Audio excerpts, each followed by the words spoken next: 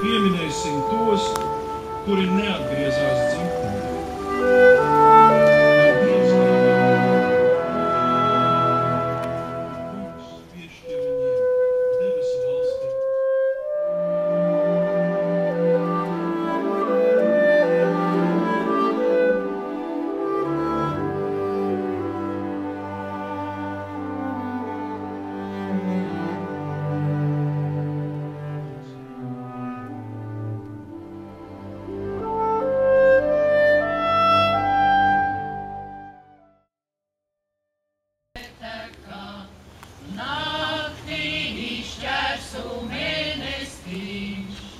Naktī šķērsu mēnestiņš, šķērsu tad, kad dieva zirgi, šķērsu tad.